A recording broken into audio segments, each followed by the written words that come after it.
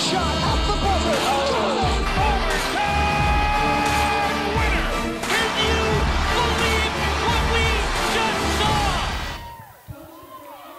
The Ryerson Rams take on the Carleton Ravens in women's basketball action.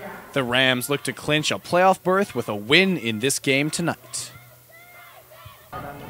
The game is off to a rapid start with both teams scoring early and often. Both teams seesaw back and forth with strong play from the outside. Finally, Ashley MacDonald takes a pass from Rebecca Cox and sinks a three.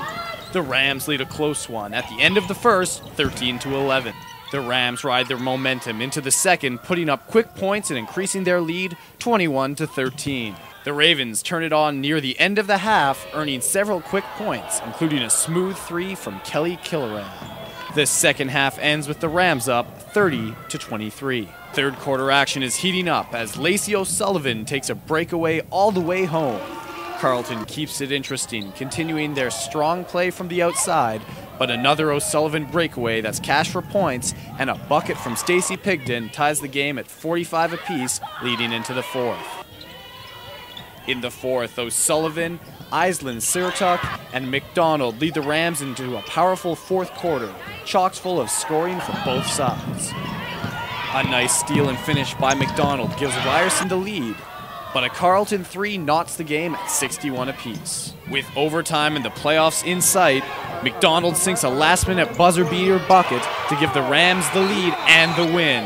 The Rams win the game 63 to 61 in this nail biter match to secure a spot in the playoffs.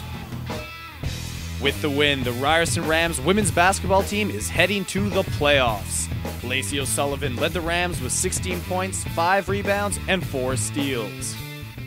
With a playoff spot hanging in the balance, the Ryerson Rams defeat the Carleton Ravens 63 to 61 in a nail biter that saw the winning shot come with 0.9 seconds left in the fourth quarter. I'm very excited with our team play today. We had a rough third quarter. We hung in there.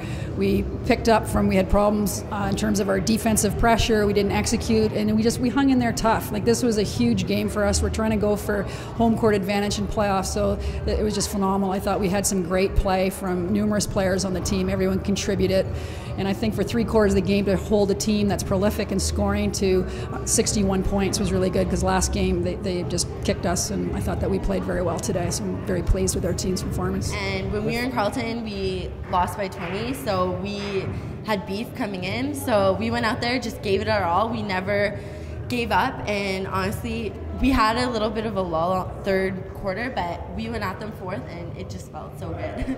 For Ryerson Varsity Sports, I'm Scott Alexander.